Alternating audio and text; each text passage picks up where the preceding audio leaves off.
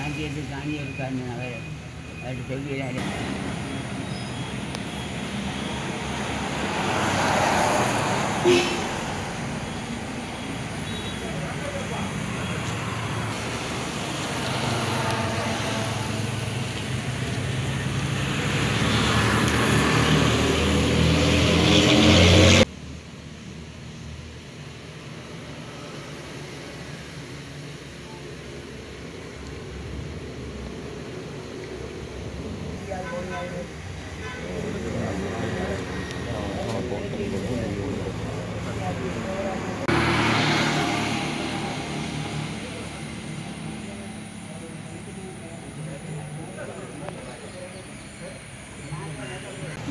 ಬೇಜನ ಬೇಕು ಒಂದು ಗಾಡಿ ಇದಕ್ಕೆ ಅವನಿಗೆ ಹೋಗಿ ಜನ ಬೇಕು